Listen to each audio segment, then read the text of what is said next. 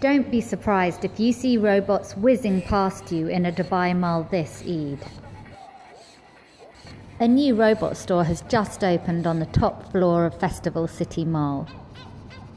We decide to open the first showroom worldwide in Dubai.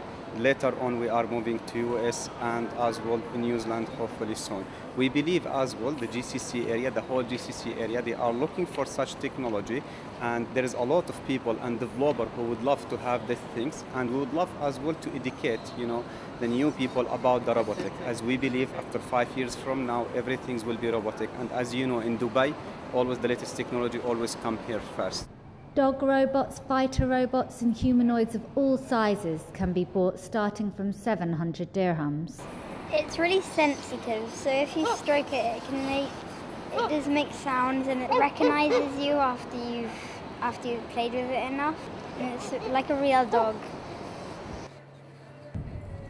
Shoshana Kedem, 7 Days UAE.